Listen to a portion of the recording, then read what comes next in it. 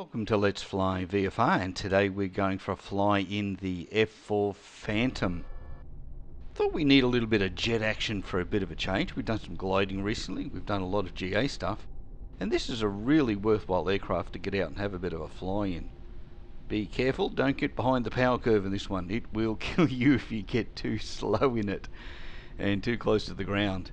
All the weapons are actually fireable so you can actually go and have some combat with your mates just remember there's a combat uh, selector you have to do in the settings. You just tick a box and, uh, and, then you can take all the weapons out and shoot at each other if you want to. So you can hear the particle see the particle effects happening here with the engines up and running as we power them up into overdrive or into afterburner. And uh, we get it all get this thing all warmed up and ready for a bit of a jaunt around. Even the um, pressure uh, pressure points are uh, modelled here, pressure waves uh, within the afterburning flame, which is really great effect. Give the stick a bit of a whirl around and get everything ready, get our flaps down, and uh, have a quick check around. The, the cockpit isn't stunning, and a lot of it isn't operational, but uh, the basics that you need are ready to go. We've got a, a rear view, so that uh, when we pull a few Gs, we'll see whether we get that cloud forming above the wings when you get that low pressure area uh, when you um, do you pull some Gs. We're trying to keep damn straight on this thing. I haven't flown much with the the PCB and a bit been a bit poorly of late. Get down here. Now this likes lots of speed as we're coming up to 180, 190, 200 knots.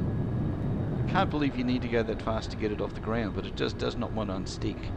So we get the gear up, we'll stay level, it does rock a little bit there on that low speed.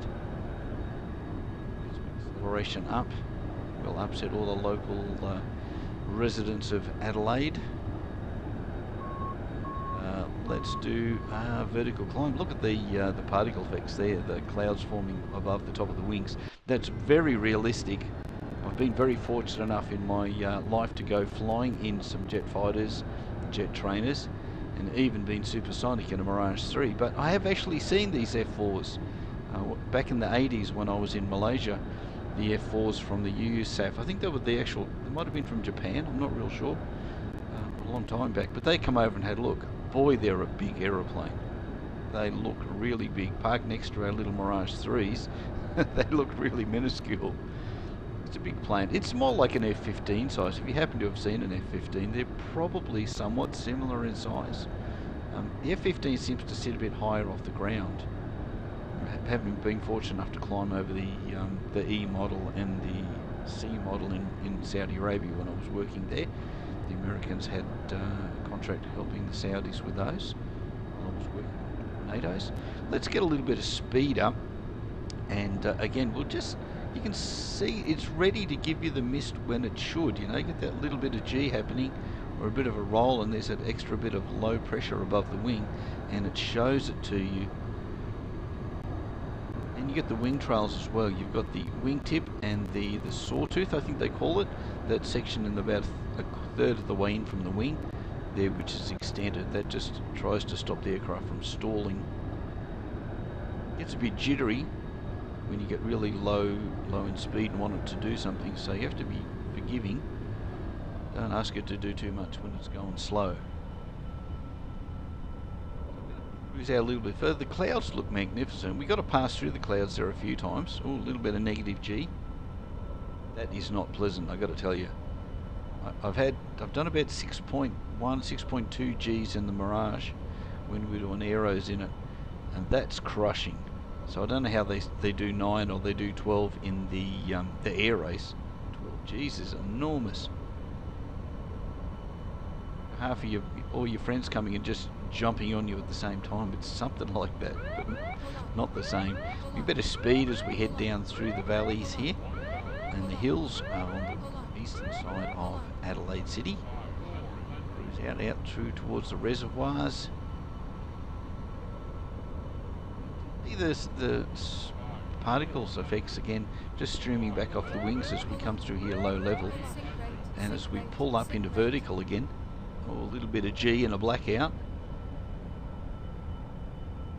managed not to black out when I flew And I didn't get sick either, that's normally the next question. But uh, it, it could have happened. Rolling inverted. And I think at this point we've probably seen enough of uh, the particle effects in this. Let's do something a little bit different and uh, go out and play on the carrier. Um, I haven't done any carrier landings in X-Plane and that's just falling out from low speed there. We're under 100 knots there. I'm surprised it didn't spin. That's something I need to have a go at on this thing, see if it spins. I reckon that'd be nasty. Anyway, I think we should head out and have a bit of a flight, just see how it works off the carrier and uh, fly a circuit, land it, and just see whether we can manage to do that in one piece. Ah, look at that. That's fantastic, isn't it? And I still think those clouds look amazing. I can't see any reason for spending money on uh, on on a lot of the uh, weather packages out there. I'm just can't convince myself I need to do it. So here we are in on the deck of the aircraft carrier. Everything's ready to go now. All you need to do is set yourself up, flaps and all the rest of it, power up to full, and then just hit the brakes to get yourself to launch here. If you haven't done it, uh, just look for the special starts. You can fly. We can fly anything out here. I don't know if it'll launch off if you're in a Cessna but uh, the chances are it might do. Line yourself up. So we're going to take off here, and it's basically uh, east-west. It's travelling, so we'll be able to take off. Think we're taking off easterly or something. Have a look at the compass in a second, and uh, and then we'll fly around and come back in and, and try and put it back on the deck again. Most of the controls are not are not controllable. You can't do anything with them. The uh, the missiles are down on the bottom left of the main panel. There we are, off, successful, nose up. It's wallowing a bit, gear up.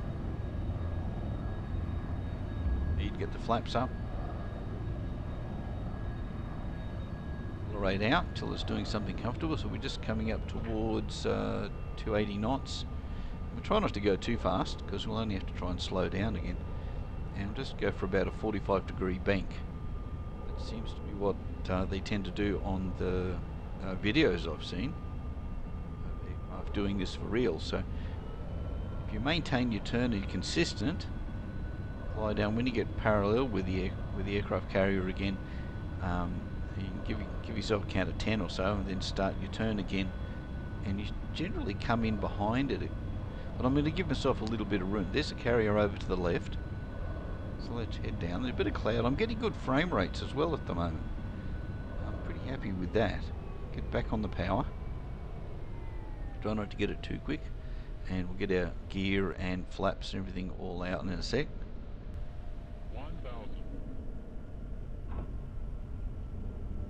A large cockpit to uh, to climb into.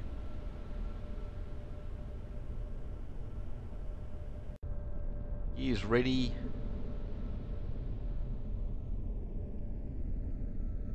sparrows and uh, the sidewinders. Now the side sidewinders are heat seeking out there on the wings and the sparrows are under the fuselage. There's a couple of there, semi-active.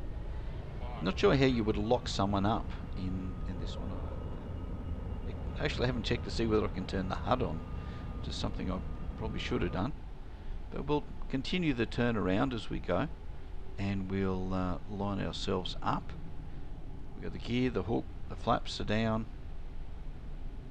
and we'll try and load it. This is really challenging. If you haven't done it, guys, I highly recommend it. Again, just jump into this, the special starts menu uh, on the left-hand side when you're setting up the aircraft, and uh, and that's also where you can change your weapon slate. Stick some bombs on it and stuff if you want, and uh, go go bomb some things.